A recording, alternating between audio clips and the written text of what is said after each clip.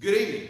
Welcome again to the Bethany Associate Reformed Presbyterian Church as we gather together for our evening message.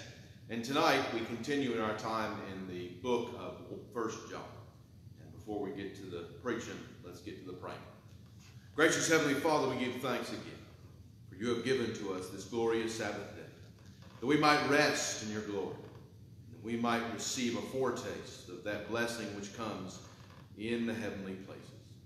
And God, we pray through the power of the Holy Spirit that you will lift us up into your presence. And dear God, that the words to which we hear today might uh, encourage us in the faith, challenge us in our sin, and remind us of the beautiful nature of the Lord Jesus Christ, in whose name we pray. Amen. Now, the words which I would like to call your attention to tonight come from 1 John, and we're going to continue in chapter 2. And today we're going to be looking at verses 12 through 14. Again, that's 1 John chapter 2, verse 12 through 14. Let us hear the word of the living and the true God. I write to you, little children, because your sins are forgiven you for his name's sake. I write to you, fathers, because you have known him who is from the beginning. I write to you, young men, because you have overcome the wicked one. I write to you, little children, because you have known the Father. I write to you, fathers, because you have known him who is from the beginning.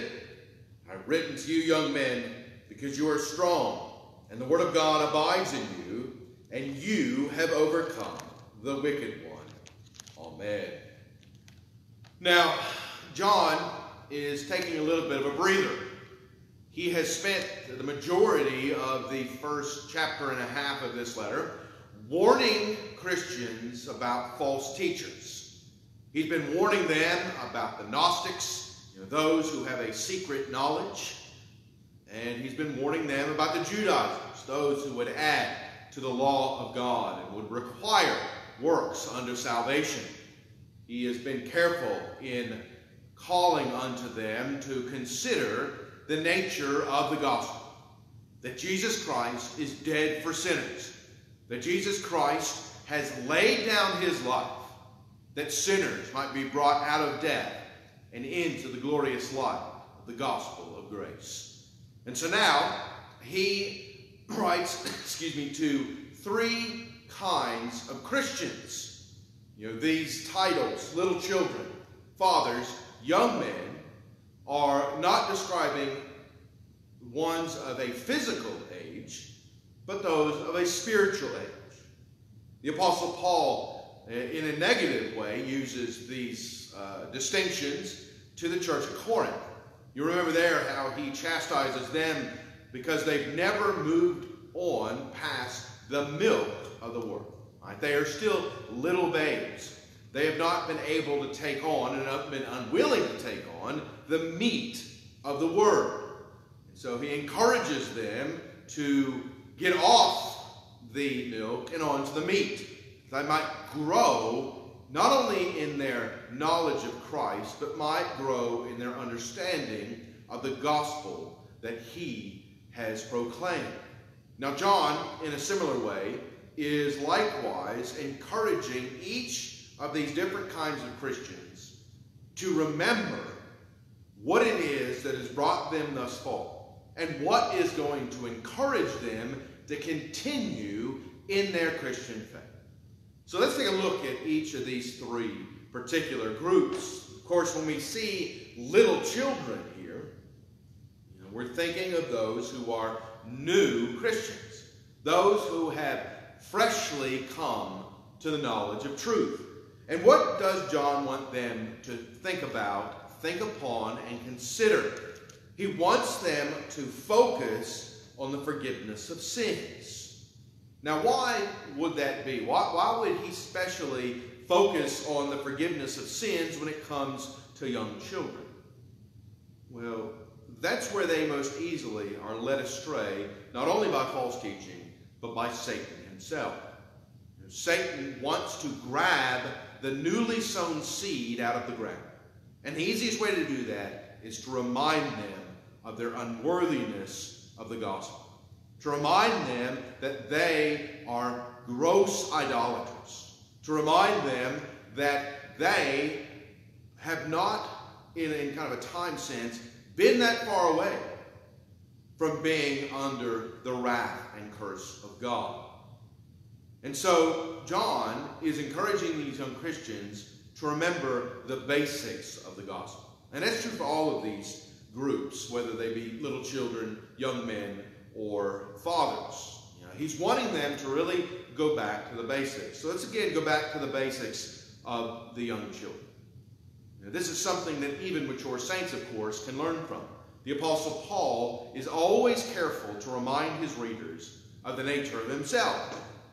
In 1 Timothy 1.15, he says, This is a faithful saying and worthy of all acceptance that Christ Jesus came into the world to do what? To save sinners. And what does he say about sinners? Of whom I am chief. You know, this humble reliance and remembrance of the inability of ourselves to save ourselves is the answer that we're supposed to give to Satan when he throws our sins in our face. We're to tell Satan, Of course I'm a sinner. Of course I've fallen short of the glory of God. Of course I have done these things that have made me unworthy of the grace of God. Because what does the Bible say? Right? Christ does not come to call the righteous, but sinners to repentance. For whom did Christ die? Christ died for the ungodly. And because Christ has died for the ungodly, because Christ has healed those in need of a physician, we have now been made what? Right? We have been made partakers of his work. We have gone from our former manner of life into the new life we have with Christ Jesus. So when Satan throws those sins in your face, you can respond by saying, My trust is not in my works. My trust is not in who I am, because I'm a sinner. My trust, my trust is in Jesus Christ, my Lord and Redeemer. Go and see him, Satan, for he holds me in his account. Right? My righteousness is, is Christ's righteousness. Right? It's not me who died, but Christ who died, and it's Christ who lives in me. So for these young Christians, John again is comforting them with a very basic testimony of the gospel. I write to you, little children, because your sins are forgiven you for what? For his name's sake. Right? Why are any of us saved? Why are any of us brought into a right relationship with God? And what does the Bible tell us? For the glory of God. That's why we're brought into a right relationship with Him, so that we can worship Him, so that we can praise Him, so we can bring honor unto Him. Right? In, in a very real sense, the gospel is not about us.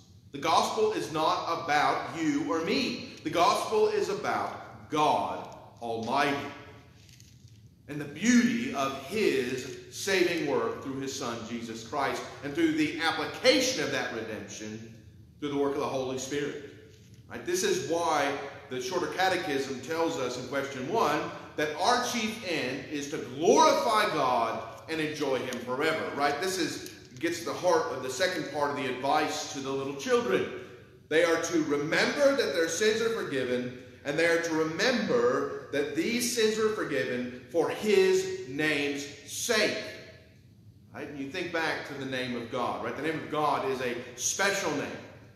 In fact, we know that it's so special that the Jews kind of created a barrier around the name of God so that they wouldn't even blaspheme. And of course, we see this in the way that the capitalized four letter word Lord shows up in our Old Testament, right? The name Jehovah. It is the name of God. And what does that signify? Course, we go back to uh, the book of Exodus, and when Moses tells, or when God, or let me rephrase that, when Moses asks God what he is to tell the people in Egypt, has sent him Right? What's the name that God gives him? I am who I am. And that language, that I am, is all about understanding who God is and what God has done.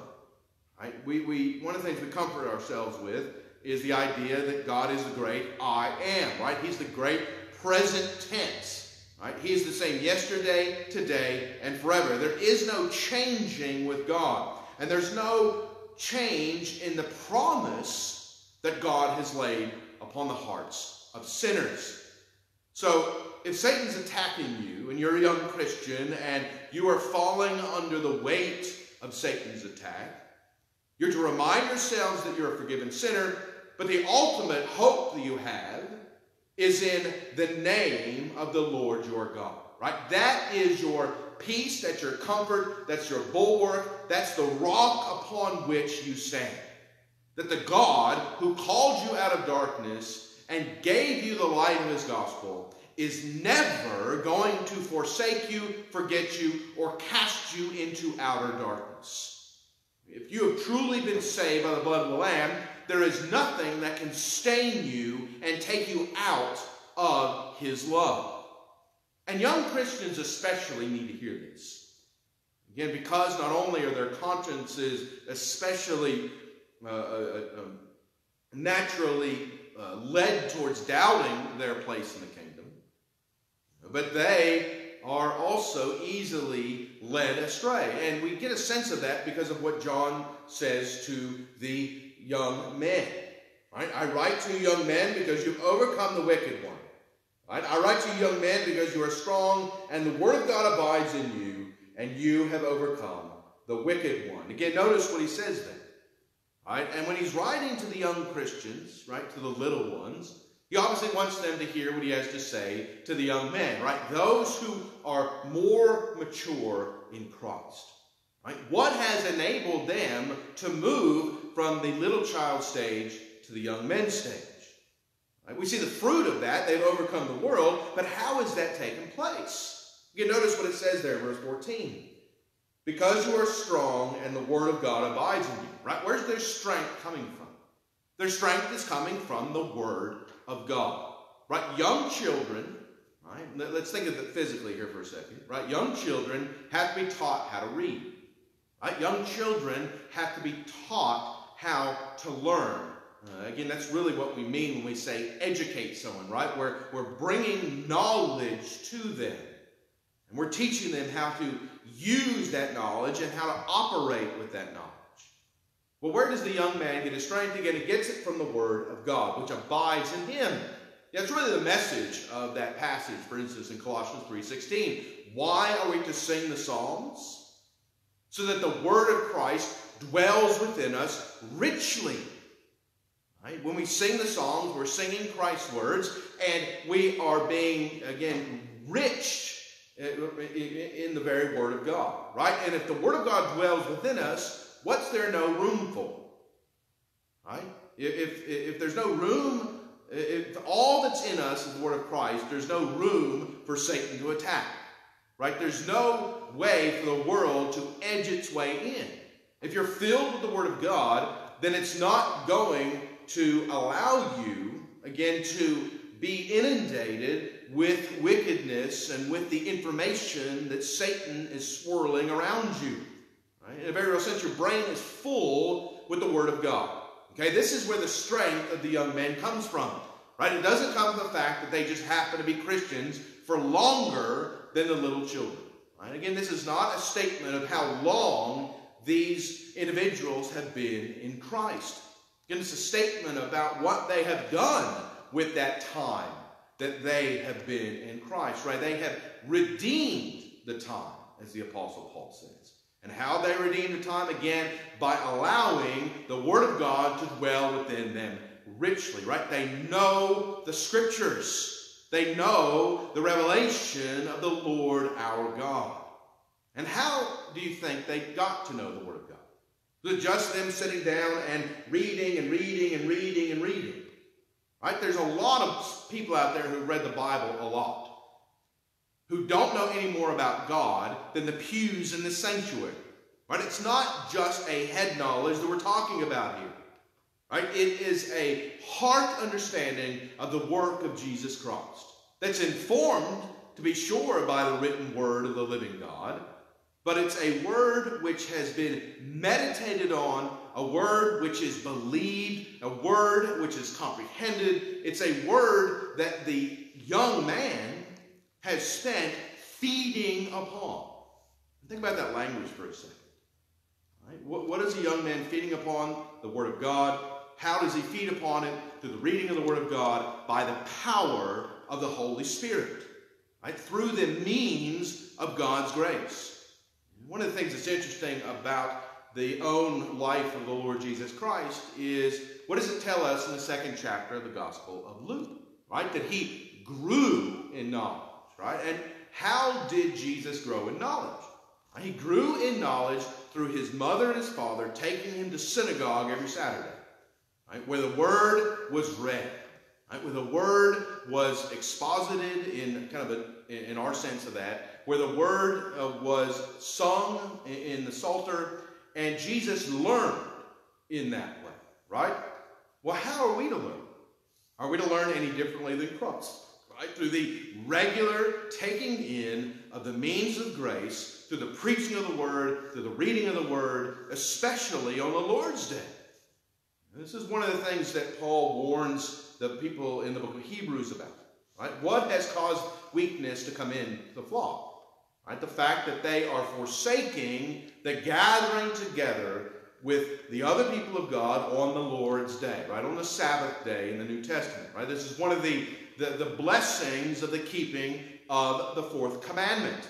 Right? We have six days to labor in our earthly labors, to enjoy the uh, entertainments, if you will, of the world. And God has given us one day in seven in the New Testament on Sunday, right, that we call the Christian Sabbath, where we are given this opportunity, this blessed opportunity, to feed on the Word of Christ, to put aside all the trials and all of the worries of the secular world and spend that time with Christ.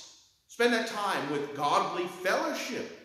Because again, this knowledge that the young men are being fed by and finding strength in is a knowledge which they're learning from one another.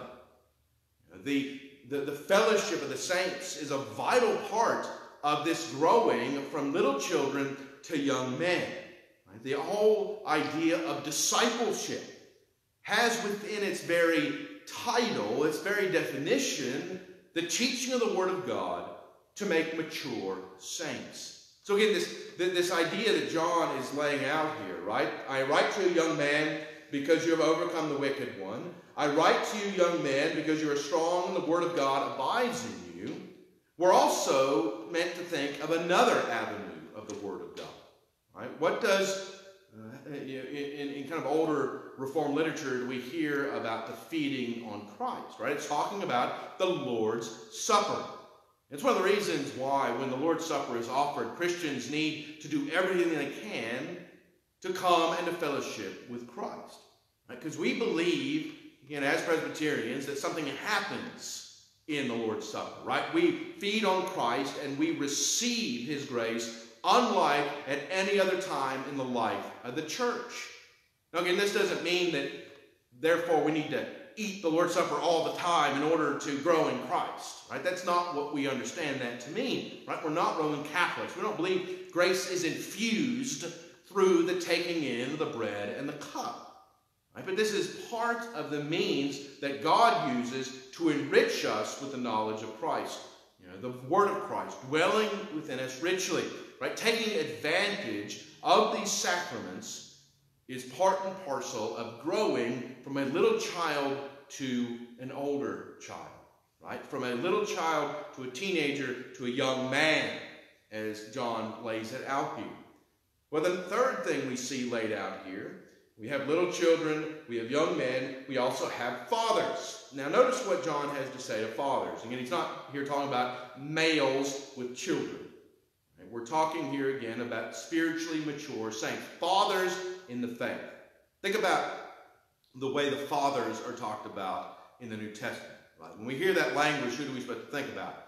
Abraham, Isaac, and Jacob. Right? We're meant to think of the patriarchs of the Old Testament. Again, that word patriarch has, has come to have kind of a negative uh, connotation in our day, but there's nothing wrong with that word. Right? Patriarch is a biblical word, and it's a word which just means that fathers who lead well, fathers who are in charge, fathers who are mediating the word of God to their families and to the in, in their own offices in life. So patriarch again is not necessarily a bad word. but we see John using father here in a similar way, right? He's talking about those who are mature in the faith. And in a real sense, of course, again, he doesn't mean just men. Right? These aren't mature women as well. Just like young men also means young women. Right? Again, these aren't, aren't kind of gender-based topics. These are talking about the kind of levels of maturity in the faith. Little children, young men, and fathers. Well, again, let's look here again what it says about fathers. I write to you, fathers, because you have known him who is from the beginning. I write to you, fathers, because you have known him who is from the beginning. Now, there's very little difference, obviously, here between the first and the second time John uses this. Again, notice what it says You have known him who is from the beginning. Now, what, what in the world is John talking about? Again, he's talking about those who know God as he is. Right? They have advanced, if you want to use that language, from seeing God again as the one who forgives sins, uh, knowing God as, as Father. They've gone from allowing the Word of God to abide in them and give them strength to knowing God in a fullness, right, in a greater way in this. And this is, again, a testimony to the maturity of their faith. It's another way of thinking about the nature of our own call to grow in Christ. And where do we see evidences and witnesses of this in the New Testament? Those who have gone from little children to young men to fathers in the faith. Well, again, let's look at some of these men. Well, think about someone like Stephen. Right? Stephen had gone from a young child to being a young man called to be, you know, a deacon in, in the church, somebody who was given authority within the church to then he is an evangelist preaching the good news of Christ. And what do we see at the end of Stephen's life, right? We see a man who is being stoned to death, and what is his reaction to those things that are happening around him? To continue to proclaim the gospel. Right? His immediate earthly situation has no bearing on his attitude and on his actions. His desire is that others might know Christ as Savior. Now, that doesn't mean, again, that becoming a father means becoming a preacher. Right? We know that, that that office is restricted in the New Testament to qualified men. But that doesn't mean, again, that women can't be fathers in what John is talking about here. You think of the witness that we see in 1 Timothy of the mature women. We see this in 2 Timothy as well. You know, what is said of Lois and Eunice in 2 Timothy? Right? That they are to be commended because they brought young Timothy up in the fear and admonition of the Lord. Right? The fathers, the male figure in the households, had failed miserably. But Lois and Eunice had taken it upon themselves as responsible for the welfare of Timothy to teach him of Christ. And the mature witness of the faith is also seen in 1 Timothy, where the older women, the mature women of the faith, take the younger women under their wing and teach them of Christ.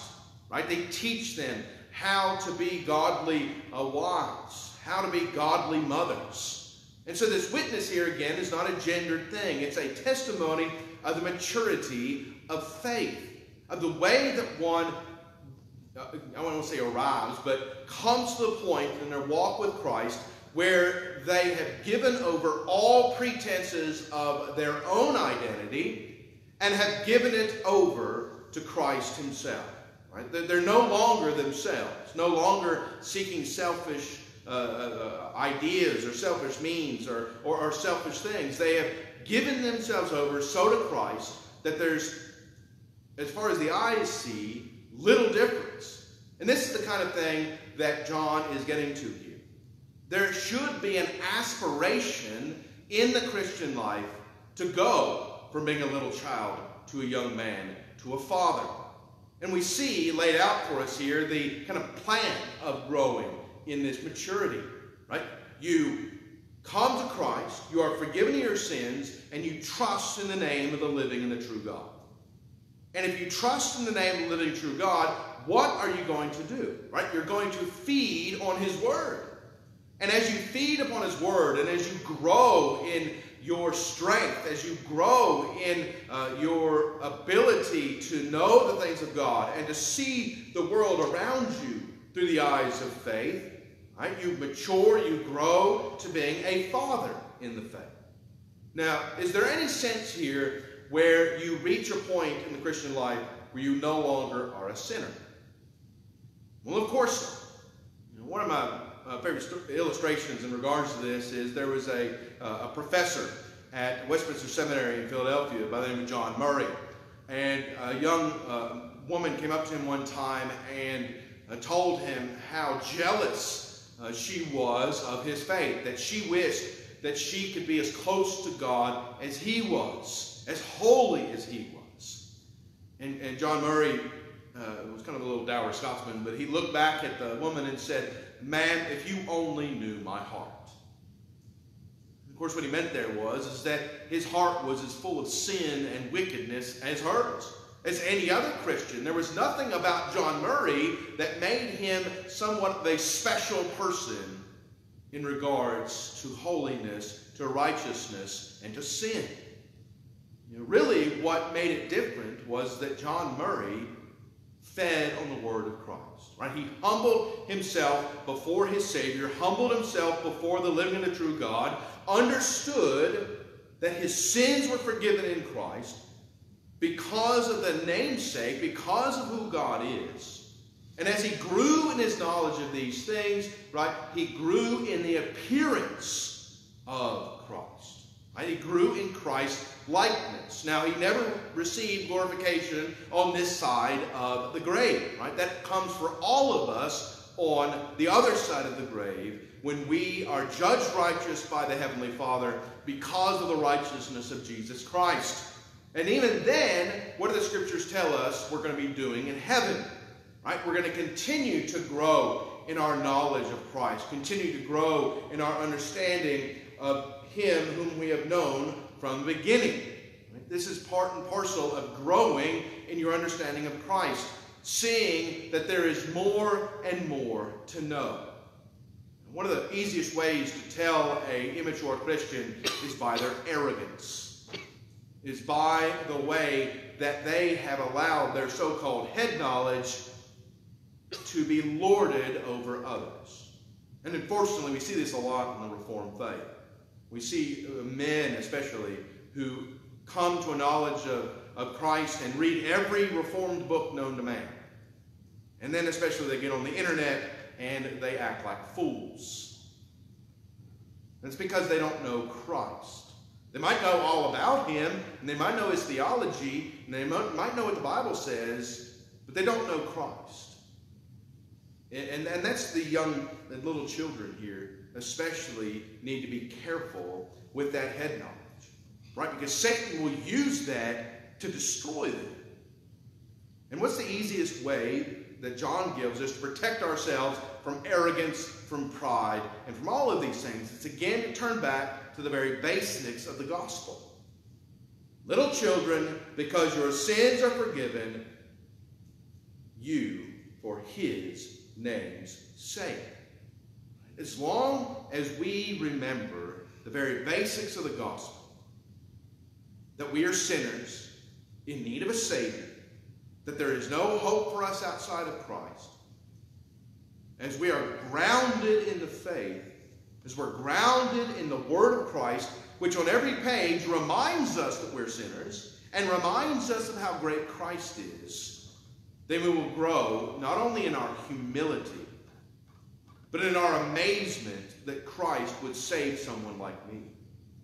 But there's nothing good within me. Speaking personally, I'm a gross idolatrous sinner.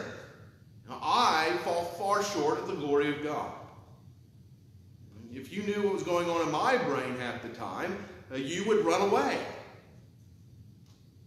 Because I am a sinner. And as Paul says, this is a faithful saying we're all acceptance, that Christ Jesus came in the world to do what? To save sinners. And if I'm a sinner, that means Christ came to die for me. And if Christ came to die for me, what has happened to me? I am no longer the man I used to be. Right? I'm no longer that old man. I'm no longer that man who dwells in sin who dwells in the tents of unrighteousness, who dwells in wickedness. I have been transformed by the power of the gospel. I've been turned from one who was in bondage to slavery to one who is in liberty in Jesus Christ. And this is the start of this walk of faith, of maturing in our understanding, not only of ourselves, but in maturing in our understanding of our place in God's kingdom. We are mature because the Word of God abides in us. We are mature because we have known Him who is from the beginning. We are mature because our sins have been forgiven for His name's sake. And it's imperative for the believer to remember these things. Because we don't, then Satan will pluck us out Of course, in the reality, Satan won't have a very hard job to do. Because we'll go with him hand in hand and show ourselves to be like Alexander the coppersmith, who have loved this present evil world. That's why this overcoming of the evil world plays such an important uh, role in what John has to say. Right? We don't overcome the world by the works of the flesh. We overcome the world by what? By the Word of God abiding in us through the knowledge of our salvation in Jesus Christ, through our knowledge of who God is from the beginning. So, brothers and sisters, as we close our time uh, in this passage tonight, let's think about not just where we are on this scale. Right? That's not really what this is about. It's not about uh, kind of judging where we are in the walk. It's about asking the question, though, about where we should be on that walk. do we have the Word of God dwelling within us richly? Are we taking advantage to feed upon Christ? Especially on this day that He has made. Right? Are we wasting our time with frivolous things on the Lord's day? Are we spending time in the Word? In growing in faith, growing in understanding, growing in especially in understanding of ourselves. That we are sinners in need of a great Savior. And that we are weak vessels who cannot bear these things on our own. But we are strong in Christ, who is our rock, our Redeemer. And in his house we dwell. And let this be the testimony of our hearts. And let us be, again, not interesting, not, not overly interested in comparing ourselves with other Christians, but in comparing ourselves with what the Word of God says. Let us grow in His Word. Let's grow in understanding of the gospel. Let us grow in our love for the one whom we have known from the beginning. Amen. Let us pray. Gracious Heavenly Father, we give thanks for the time that you've given to us in the Word of God. And God, we pray that you will grow us in grace, grow us in understanding, grow us in our love for your Word, and our love for you, and our love for the gospel, our love for salvation itself. You have taken uh, sinners, washed them in the blood of your Son, and have called them unto your home as your sons and daughters by adoption. May we be blessed in these things in Christ's name. Amen.